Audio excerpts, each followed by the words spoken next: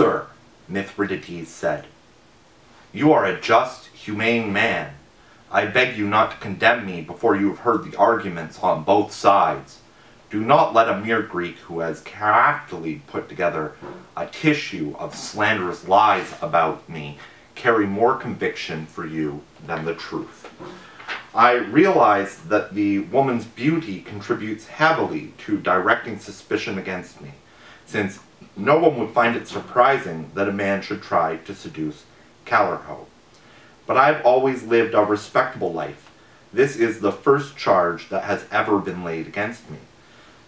But even if I were a dissolute, licentious man, I should have reformed by your entrusting me with the government of so many cities. Who could be so foolish as to deprive himself of such blessings by his own choice in favor of a solitary pleasure, a disgraceful pleasure at that? And after all, even if I were conscious of misconducting myself, I could in fact have raised legal objection to the suit.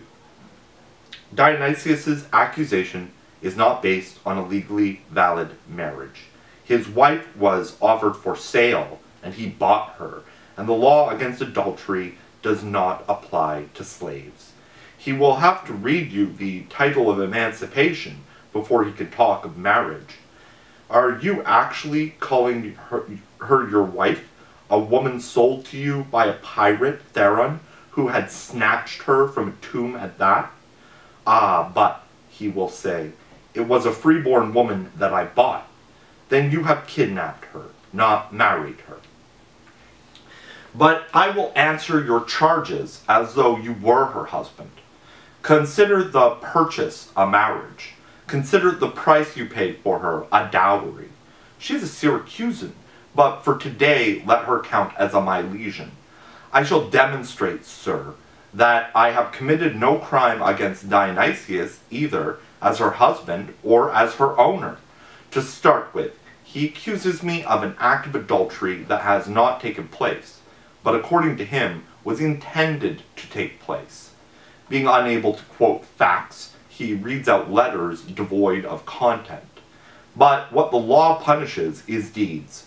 You produce a letter. I could say, I did not write it. That is not my writing. It is Chaereas who is trying to find Callirhoe.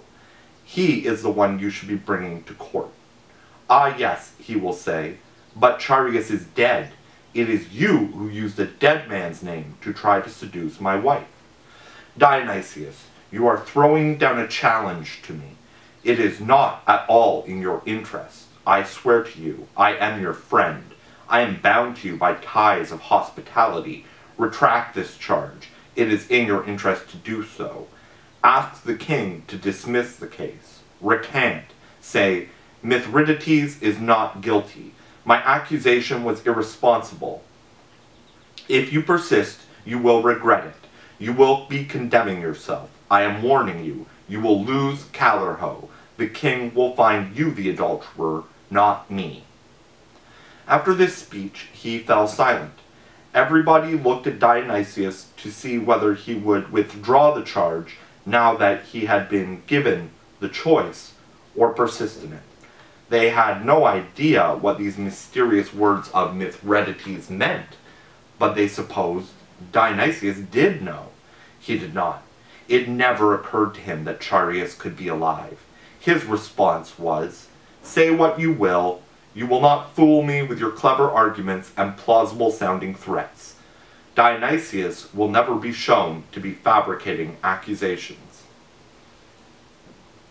Taking up from there, Mithridates raised his voice as if in a divinely inspired frenzy, called out, Royal gods, gods of heaven and underworld, help a virtuous man. I have often prayed to you in proper observance and offered you magnificent sacrifices. Reward me for my piety, falsely accused as I am. Accord me Chaereas, be it only for this trial. Appear, noble spirit, your Callirhoe summons you. Stand between the two of us, myself and Dionysius, and tell the king which of us is the adulterer while he was still speaking. And this is how they arranged, had arranged things. Chaereas himself stepped forward. When she saw him, Callirhoe cried out, Chaereas, are you alive? and made to run to him. But Dionysius held her back, blocked the way, and would not let them embrace. Who could fitly describe that scene in court? What dramatist ever staged such an astonishing story? It was like being at the at a play packed with passionate scenes, with emotions tumbling over each other, weeping and rejoicing, astonishment and pity, disbelief and prayers. How happy all were for Chaereas, how glad for Mithridates, for Dionysius how sorrowful, and for Callirhoe they did not know what to think. She was in total confusion, and stood there unable to utter a word. She could only gaze wide-eyed at Chaereas. I think the king himself, at that moment, would have liked to be Chaereas. When men are rivals for a woman's love, they are always easily provoked to violence. In this case, the sight of the prize made them even readier to fight. But for the king's presence, they would have come to blows. But they limited themselves to words. I am her first husband, said Chaereas. And I am a more reliable one, replied Dionysius. Did I put away my wife? No, you buried her. Show me the divorce papers. You can see her tomb. Her father married her to me. She married me herself. You aren't fit for Hermocrates' daughter. You're even less fit. Mithridates had you in chains. I demand Callirhoe back, and I am keeping her. You're laying hands on another man's wife, and you killed your own. Adulterer, murderer. Such was their argument, and the audience enjoyed it.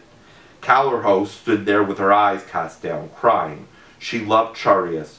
She respected Dionysius.